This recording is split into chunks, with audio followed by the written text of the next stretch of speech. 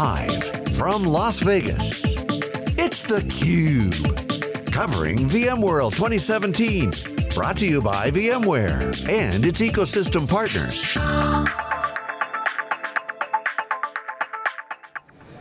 We're back. I'm Stu Miniman here with Justin Warren, and this is theCUBE, SiliconANGLE Media's broadcast of VMworld 2017. We're the worldwide leader in live tech coverage. Happy to welcome to the program a first-time guest, Russ Reeder, who is the president and CEO of OVH. Russ, thanks so much for joining us. You bet, Stu, thank you. All right, Russ. So those of us that have been coming for VMworld for years said, you know, VMware, their cloud strategy, what a mess.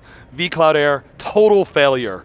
Now, I, I, think you might have a slightly different viewpoint on uh, some of that, uh, you know, dynamic. So, uh, you know, for, for audience that doesn't know, OVH, uh, you know, was predominantly European, uh, you know, uh, cloud hosting provider, part of the vCloud Air network, if, if I understand. Mm -hmm. and you know, tell us what brought you to OVH, and you know, what, what, what, what's your story on the whole vCloud sure. Well, OVH, we're one of the largest infrastructure providers in the world. We're the fifth largest, and we're the number one partner for for VMware over in EMEA, right? And so I guarantee if Pat Gelsinger was here, you wouldn't have thrown vCloud Air under the bus so hard, but uh, it's a great opportunity. We'll be on tomorrow, let's yeah, see. perfect, yeah.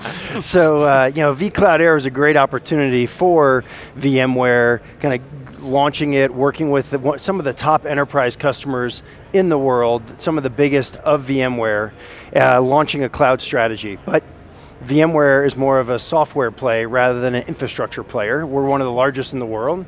And uh, so when, when VMware called us and said, hey, one of our best in EMEA, we know that you're coming to the US, we think there's a perfect acquisition.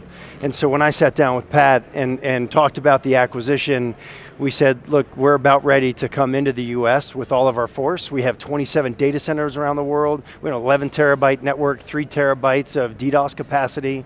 I mean, we, we, and we're coming here with scale.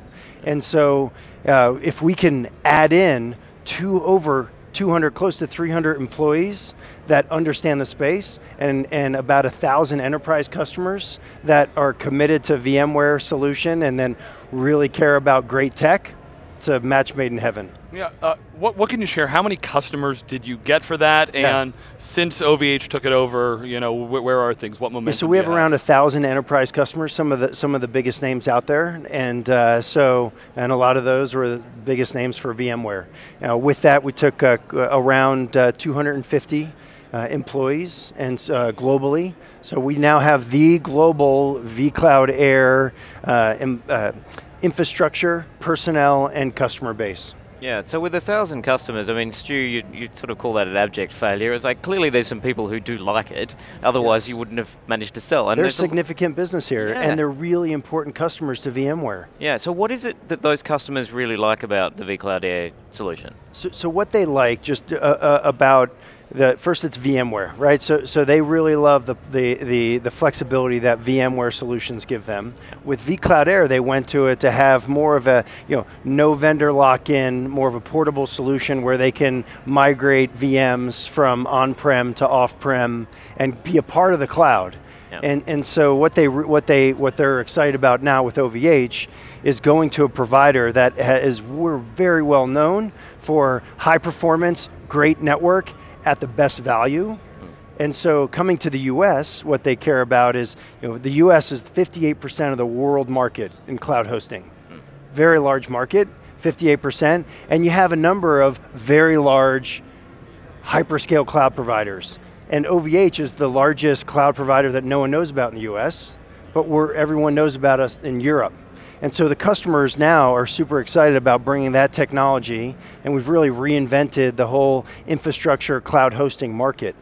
And, and bringing that new technology into, and the green technology into the US. Yeah, Russ, I, I we've been watching kind of this the, the, colo you know data center business seeing a number of companies that have kind of exited you know think rackspace where how they're, they, they've changed verizon uh, you know what they've done uh, i talked to some of your team uh, at the booth here at the show mm -hmm. um, and they're actually excited about talking about the way ovh you know builds data centers can, can you bring us inside this because some people look and they're like oh if, if you're not spending five to ten billion dollars a year you're probably sure. not in that business right. Um, once again ovh i think has a slightly different viewpoint on this so. yeah so we were founded by by Octave Klaba, who's an engineer, network engineer, uh, started building, building, uh, hosting websites, and then started to build their own servers. And so now we are vertically integrated. We build our own servers, we build all of our, DDoS, our own DDoS equipment, we build our own data centers. Our servers are water cooled, and we have very strong R&D relationships with Intel and AMD, and allows us to crank up the, the processing speed with our, with our data uh, cooling capacity, 30% of the data centers are cooled by natural air, 70% are cooled by water. So when other very large, well-known companies are out there trying to put data centers in Alaska and on sinking them in containers.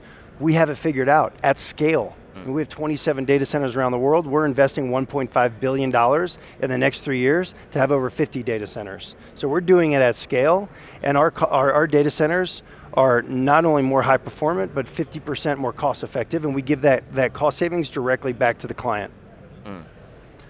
Russ, one of the things that when I talk to customers and you ask them about their cloud strategy, sometimes they say hybrid cloud, sometimes they say multi-cloud, but whatever they say, their strategy is different for every customer I talk to. Some are actually, you know, federating or splitting up applications mm -hmm. between uh, different environments. Others are, you know, workloads depending on, on where they have.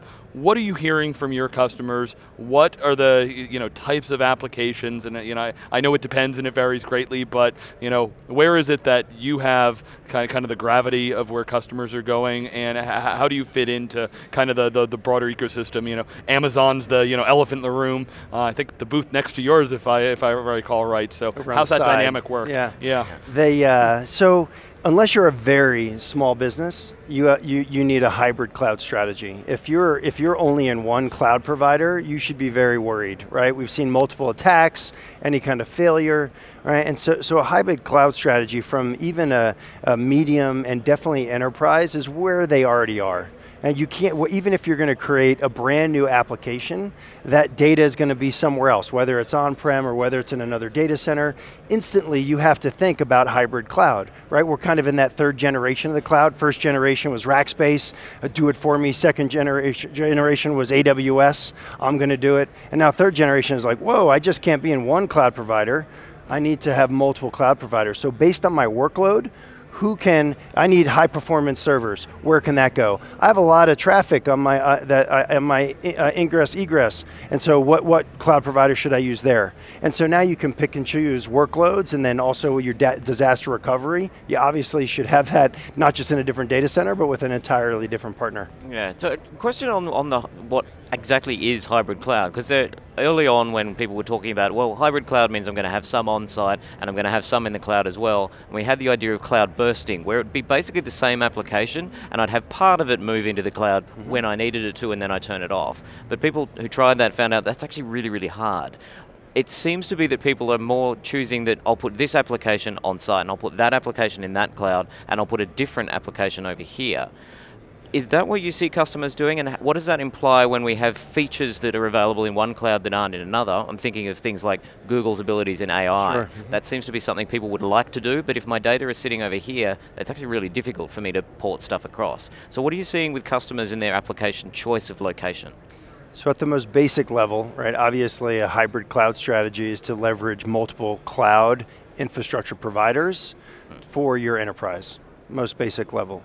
But, but there, whether you keep the data on site and then maybe the application off site, that's really not a hybrid cloud, right? That's kind of like I've got my on-prem and my one cloud provider. Yeah. Hybrid cloud really comes into play when you're using everyone from OVH for a specific set of workloads. Maybe you have your disaster recovery here. Maybe you have your, your, um, your a whole set of enterprise workloads on OVH and you're using, say, you know, maybe IBM for a, a, a different workload or maybe your data set is in another colo facility. Uh, and so, so once you start uh, mixing workloads where the data is and having multiple cloud providers, that's more of where, where, where the definition is really evolving to, right? Because it's kind of, it's definitely evolving. Yeah, so on, if I'm an enterprise who wants to do that, not a lot of people actually have the skills in-house to be able to do that themselves. Right. So they generally rely on partners to do that. Um, I'm thinking people like the global systems integrators, yeah. they tend to get involved in these kinds of deals. Is that something that you see OVH providing as well, or are you looking more to partner with, with other firms to help? Yeah, so that's that- a great that? question. We're, we're a pure play infrastructure provider. We work really well with other systems integrators, Okay. and this works very well with VMware's vCAN offering, where all the system integrators out there now that are, have found themselves competing with AWS and competing with Rackspace now that they're spinning up their managed services providers. All these great system architects that are used to sitting on the client, being that consultant, kind of helping with their hybrid cloud strategy. Now there's a little, they're competing with the offerings that they used to offer, right? So, right, so AWS and Rackspace are now have managed services. Yeah. We, we, we're not providing managed services. We rely on system integrators for that. Yeah, I, actually want to, you know, put a point on that. So I, I bumped into AJ Patel. We're going to be talking to him tomorrow. It feels like the, it's actually been that the network has been invigorated some Mm-hmm. since VMware no longer owns vCloud Air. You do. And right. so now it's VMware can focus on the ecosystem more. I've got a number of other, uh, you know, hosting and service providers that, that we're talking to on the cube. So does that dynamic help VMware uh, and help you? Um, you know, what, what, how's that look? No, I think it helps everyone. It gives clarity, right? It gives clarity to the customer. That's what we're all here for, right? We're definitely a customer-driven organization. We focus on making sure the customers are successful. And, and, and so the customer really understands, hey, this is someone that is investing billions of dollars in global infrastructure, security and scalability. And, and then for a VMware uh, customer, they, they understand, okay, I can use VMware for all the, the great software, enterprise software scale that they provide. As a vCAN partner, now I'm not trying to compete, I understand where, where I can play, and, and OVH, it's, it, we're very clear on what we do and what we d- don't do. So we're, st- we're uh, big partners on the vSAN and the whole, v, the, the, the uh, working with AJ Patel on the whole network to make sure those resellers now see that they can actually make more money with, with the vCloud Air on OVH. Right, so things like the the Cloud Foundation, that, that you're, I'm assuming that, NSX, you're, Oh, uh, yeah, you know, all, definitely. all tied in. Yeah. How much joint engineering work uh, do you do there? We're working very closely with, with all, all the teams over at VMware. So I mean, you, you, whether it's uh, NSX or or on the on the vCloud Air side, we, that already has a lot of technology built in, and now VMware's productizing it. So our engineers have to work together. So we're, it's uh, it's very exciting. Yeah. Is there, is there anything in particular at the show that's really caught your attention? Because you were saying earlier that this is pretty much your first show in Yeah. the VMware ecosystem. So what stood out to you from that you've seen at the show? Yeah, I, I think what stands out most are the customers that are really. I mean, we're talking about hybrid cloud, but there have been so many customers that really are looking for hybrid cloud, and that you know we all have been a part of the cloud for so many years, and that they're now just migrating workloads off of on-prem. Yeah. I mean, it's like every year I have to pinch myself. Like, really, are there still 65% of workloads that aren't in the cloud? Yeah.